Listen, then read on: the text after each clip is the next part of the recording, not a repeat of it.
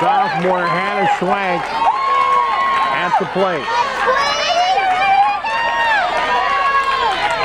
Here's the wine, and time is called.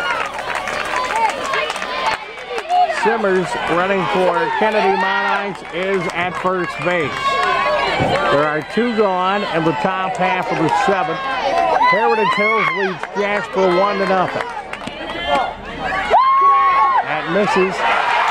And Simmers goes to second where she's thrown out. And that is the ball game.